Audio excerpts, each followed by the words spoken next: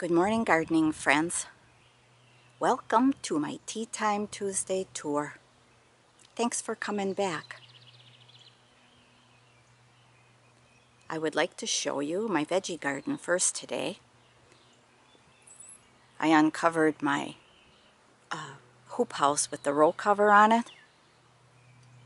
And I want to cover it back up quick when I'm done. So that white butterfly with the green worms doesn't eat my brassicas. Okay, on this arch, Morning Glory and Scarlet Runner Bean. And I have bunnies, so for you who are new, I use a lot of chicken wire. And the beans and the Morning Glory should go up and over this arch which is a recycled gazebo, our old gazebo that was on the deck. My asparagus patch, which has reseeds of calendula and Japanese red mustard and amaranth and dill. Isn't that nice? No planting it. And comfrey. Now that comfrey there is unwanted, so I dig it for its root and its leaves. And it'll grow back again. You'll never get all the root.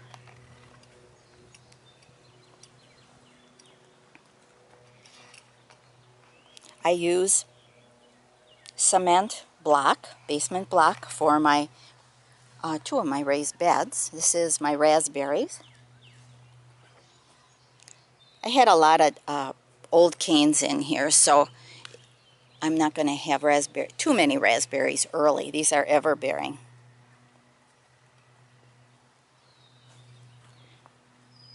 This amaranth I'll leave there. I use it to uh, eat the leaves. And I'll just tie it to the chicken wire so it doesn't flop over. I'll be digging out some raspberry suckers. This is my garlic, which is starting to get its scapes. Last year was the first year I ever ate garlic scapes, and boy, were they good. So now I look forward to them. That garlic is German hardneck, great for zone 5. I have peas, sugar snap peas, planted behind. Uh, germination wasn't real good here, but I have some more over down a little farther. I leave borage come up sporadically, but not a lot. I love the blue flowers. Attracts a lot of bees and is a great companion plant. Onions are, oh, these are red wing. Don't get a lot of sun, probably about seven hours. So I don't have too good of onion growth, but good enough to give me some uh, harvest for, oh, probably until October, and then a, a couple, probably about 10 pounds for uh, storing. This garlic is music. This is getting its scapes too. This one stores good. In fact, I think I have one bulb left from last year. Cucumbers, these are Marketmore over here. More borage, Rubin basil. It stays a little nicer purple here where it doesn't get full sun. Over where it gets full sun, where it gets full sun, it is on not as purple, fades out. I think opal basil does a lot better if you want purple. That structure will hold my cucumbers, but I plan on putting uh, a branch, probably about a diameter, a four inch branch, three inch branch across. Those are my neighbor's dead pines across uh, this area here to the frame of the greenhouse and then tie it on and then the cucumbers can hang. I'm hoping that they hang from that structure to the green the greenhouse frame. Peas. I should have peas in about, oh, I'd say about 10 days. My first uh, cilantro and parsley were back here. some more, uh, no, these are uh, bunching onions and cilantro. I let it come up wherever it wants with the cilantro. Japanese red mustard. nasturtiums. Love the orange flower and the leaves. This is Emperor's, I think Emperor something, Emperor Red nasturtium, and I like the really red-orange flowers in the salad, and the leaves are spicier. In here, my hoop house. Well, actually, it's a hoop house that has a row cover on it so that white butterfly doesn't get in here. I have broccoli and let's see, four big broccolis, and then a Swiss chard and some kale and then another Swiss chard younger and then some younger kale on the other end. The Japanese red mustard that's back there having this cover on doesn't get as an intense sun plus the broccoli shading it so it doesn't get as red. So not as spicy I guess. So that's okay too. Not all my family likes spicy.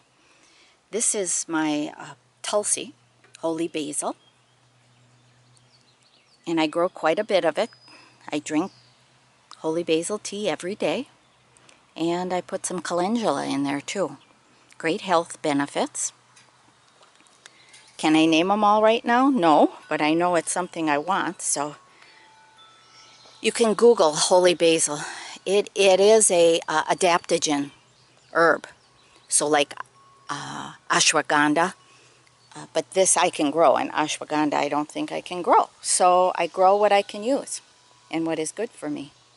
These onions here, these others were red. This one is Ailsa Craig calendula planted on the edge of the garden. Mostly reseeds, but he threw new bark down here, so they're going to be coming up a little later. I have kohlrabi in there. And some beets, bull's blood beets in this area.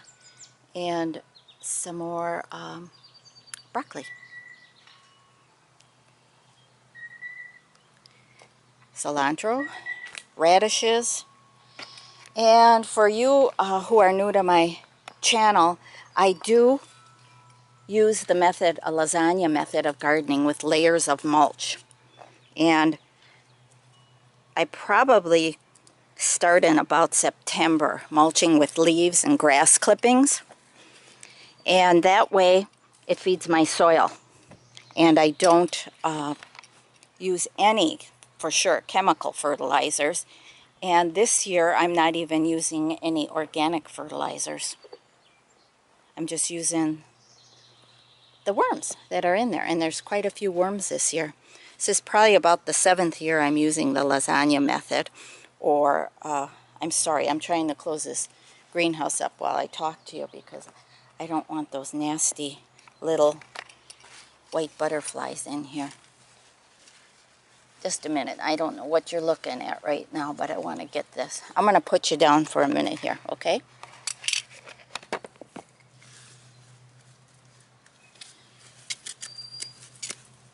You saw I had a hole in my greenhouse. I think a raccoon was on the edge one night. So I covered it up with duct tape, and so far it's working. So I'll make this more airtight later. I hope I'm not boring you with that. Then in these cement blocks, I have some chives. And then over here, some Vortex green beans with another planting down below in the bog garden. Basil's over here, tomatoes, and uh, peppers.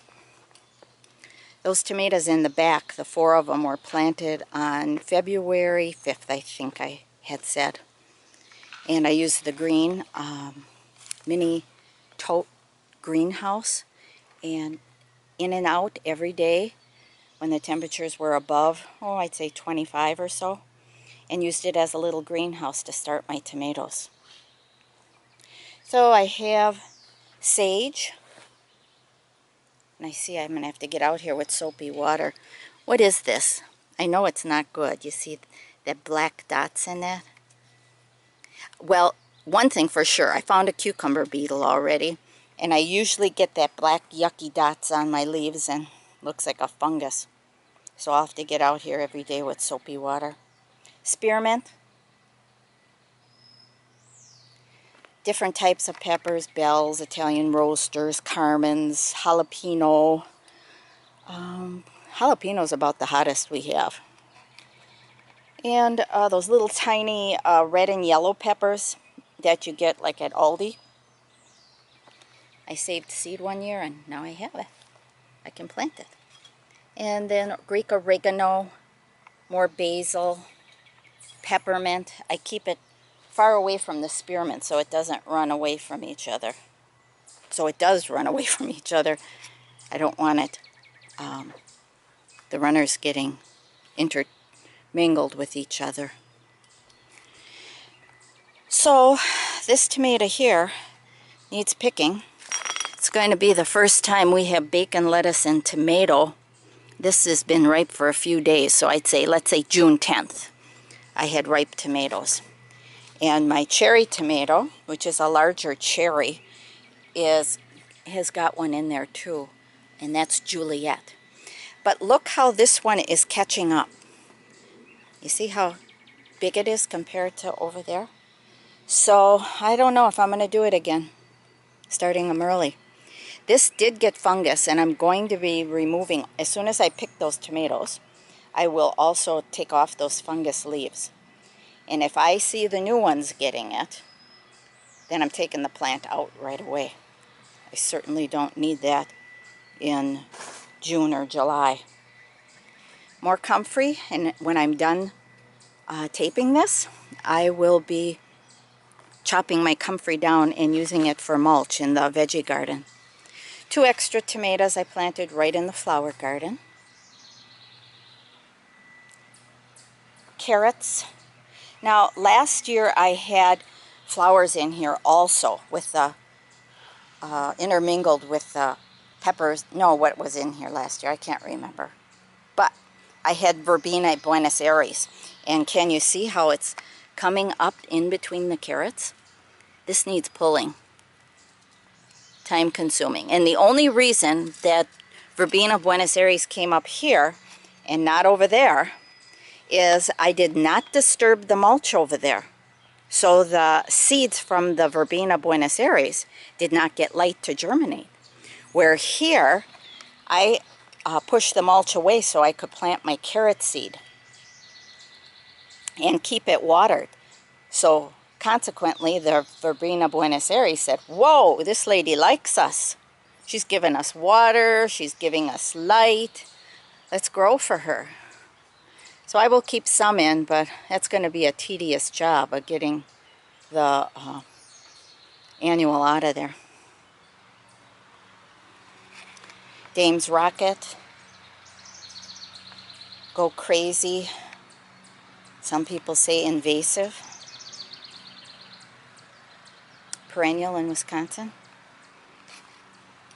Annabelle's doing pretty good. They're going to be hiding that yucky wood pile. Okay, I better concentrate on what's blooming this week, right? Oh, I see the spit bug is back. You see him? The spit bug? Let's see if we can see him. Oh, I don't know if I got him. Yes, water will knock him off.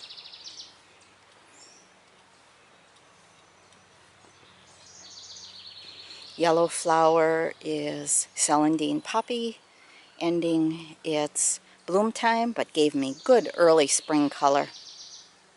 The yellow that'll be taking over now is Sundrops Primrose. And the, uh, what do I call that? I call it a buttercup, and it's in the ranunculus family. That's going to be cut back soon, too. Now, all my peonies this year, and alliums, have smaller flowers on. Can some of you tell me why? The ground is certainly better. I'm using the chop and drop method. Both are smaller.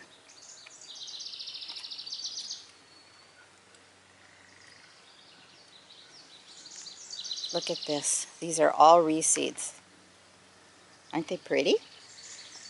But they're going to look uh, all yucky at the same time too because you can see the, the foliage is dying back. And that foliage also is the foliage from the early spring scillas, the blue, cobalt blue scillas. So it looks pretty, but it'll look yucky for a while too. Oh, I'm in the shade. And it's gorgeous here. That's the yellow that's going to be starting now. Can you see I'm in the shade of this maple tree?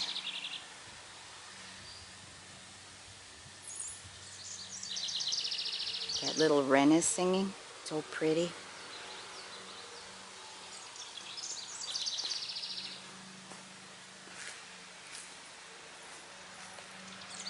Lots of milkweed coming up. I'm gonna, uh, it's starting to form flowers. I pull a lot out too, but you know you don't get that whole root, so I always have milkweed for the monarch. Whoa, I can't forget you. How can I forget you? I almost walked by you. This is the uh, hydrangea, climbing hydrangea. It's going up and over this arch here. And the sweet autumn clematis is slow to come. And then the aggressive trumpet vine is on that side. I, I don't know. I have to take a peek. I don't know if my sweet autumn's coming on here. I had dieback on that on the big arch in the uh, by the uh, entrance of the garden. Another peony. Now this was a tree peony and some of the tree peony foliage is still here. Okay, you see this one? I don't see any blooms on it. But it's reverting because it was grafted. I do believe you call it grafted from this and another peony. And I don't want to dink around with keeping off the um, new growth from coming in. So we'll just leave the strong will survive. Joe Pye. Usually I use soapy hot pepper spray on it. Haven't gotten to it. I hope it corrects itself. Lots of dragonflies this year. Look at those pretty ones.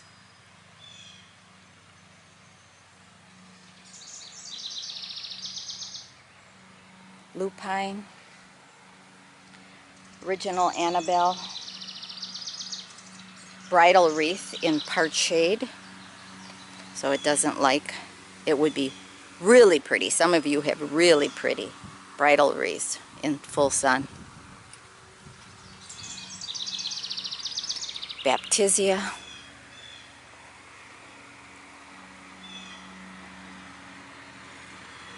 Lots and lots of phlox If I have time, it'll be coming out.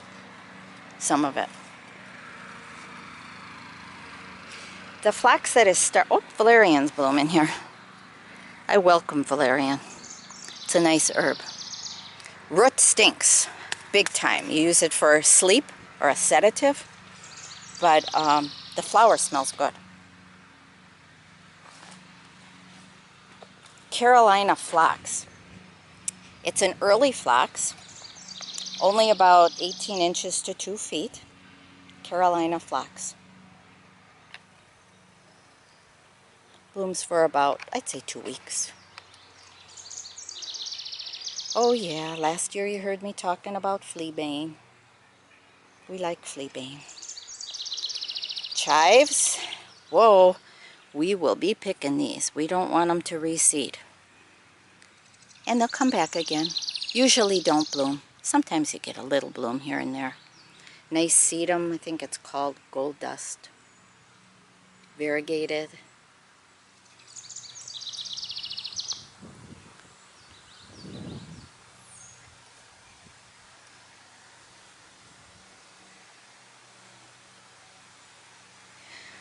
My alliums are probably about 20 years old, so they could be smaller also because they need uh, dividing. So I should mark where those alliums are and dig up the bulb. Poppies were pretty last week, week before, but oh, they are now starting to decline. So the orange in the garden is hawkweed. Isn't it pretty? Not Indian paintbrush, this is hawkweed. Oh, balloon flower found its way up here. The hawkweed with this primrose uh, buds is pretty. This is a horrible weed. My mom usually sits on the side of the garden. Um, haphazard, you can tell me what that weed is. I'm sure you can. It's got an arrow type leaf to it. But it creeps and it's hard to get. It's hard to get the whole root. It's so nice when the flowers are pretty and the buds.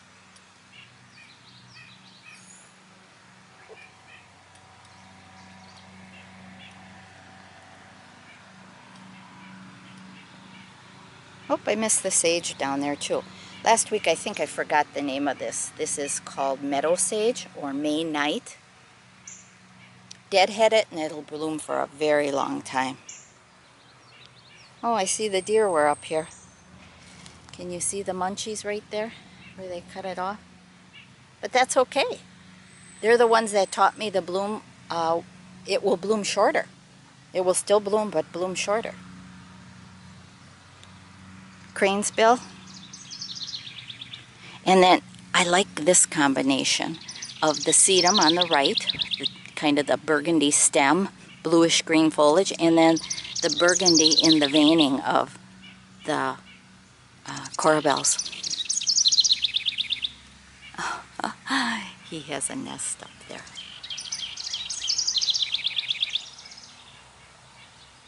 Or nest in the house. He's sitting up on the copper tubing. Now I used to have to twig or prop all these daisies, but now I let the foliage of the other plants hold it up. That's when I was into managing the garden and a place for everything and everything in its place. That's not happening.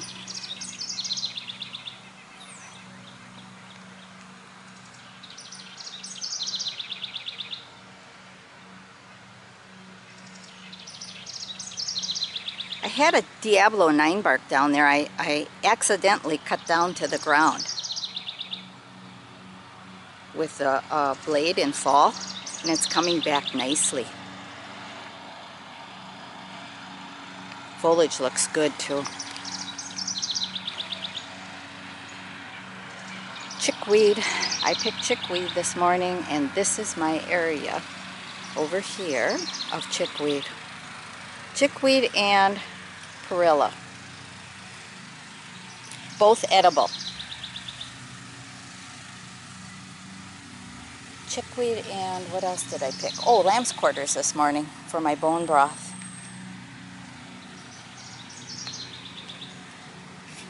Annabelle's, more Annabelle's. Shall we look at the containers, how they're coming along?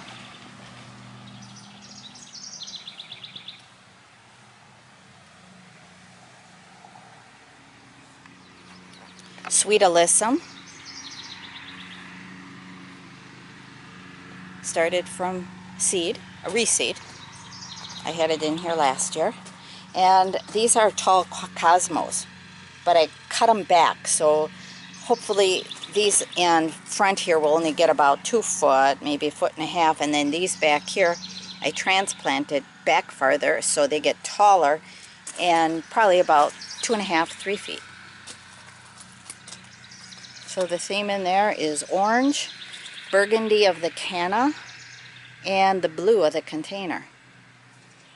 Then up here, coming good, lantana. My new annual that I will spend money on because it's drought tolerant. Along with the sweet potato vine, and then a Swedish ivy.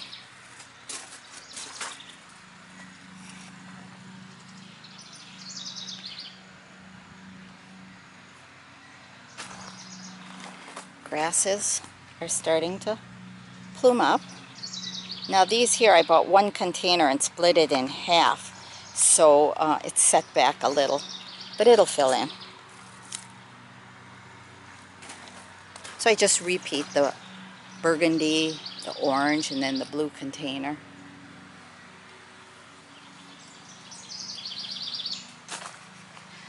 This container is very shallow and it was dry and I lost one of the uh, oh what is that called? Lobelia annual lobelia that was on this side. So I stuck in some of this ivy because this grows like a weed. And then there's coleus in there two different kinds. Lime green hoping to bright up this shade area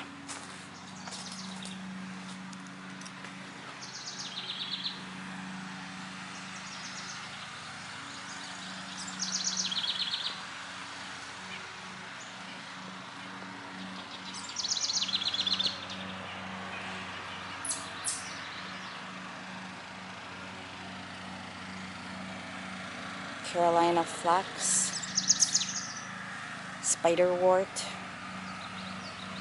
poppies. Oh, Stella d'Oro is starting. It's the only patch I have. It's just such a, a for sure daylily. Grasses going to seed, throw them on the grass. Lady's mantle, turtle head for fall color, flax for summer color, Sum and Substance hosta for color all the time. Oh, I see that the Persicaria jumped the path here. It's behind me. That's the Persicaria. Isn't the foliage pretty? This is edible too. Sorrel, wood sorrel. Whoop, I didn't trim those. The deer were here. They trimmed all my variegated Solomon seal also. Okay, I think it's coming to an end, friends. Shade garden. Astilbes are starting to get their little flower on it. So pretty. That red. Then the burgundy and the persicaria leaf.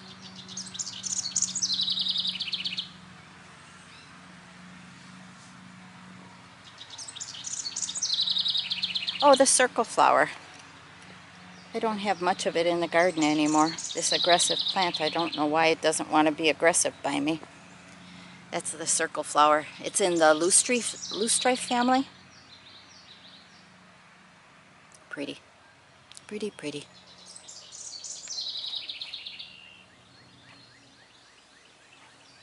Next week I'll have to start someplace else so I can get down to the wild area. Or maybe one day I'll just do like a Wednesday walk on the wild side and walk the woods with you see what's going on down there. Whoa, those are some big leaves on the oak tree. See that little oak tree? My granddaughter started that from an acorn. But my goodness, that is one big leaf. So take care, my gardening friends. Always happy to hear from you. But I understand if I don't hear a comment from you. It's okay because I do this every week. But just stop by once in a while and say hi and what you're doing. Better yet, come to my website. I'd like that. That way we can chat in a little more detail. You can help me. Maybe I can help you. Or we'll both inspire each other. Thanks, guys. And take care. Huge hugs to you. If I ever get to meet you in person. Oh, the deer are down here too. Nice. They're trimming off the edge of the path here so it doesn't get so tall. Aren't they helpful? Take care. Bye-bye.